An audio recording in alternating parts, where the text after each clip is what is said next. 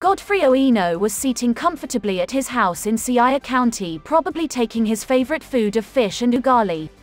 This is because Oino had won the heart of a lady, whom he got on Facebook.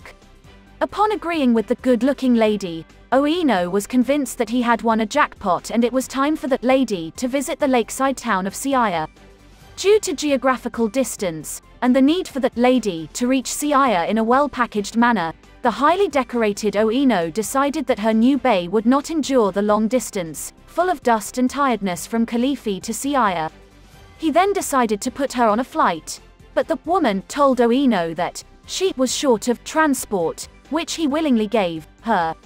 According to the report, Godfrey Oino sent her 344,500 Kenyan shillings via M-Pesa for fare that would cater for two-way flight tickets, shopping, and for a new brand phone.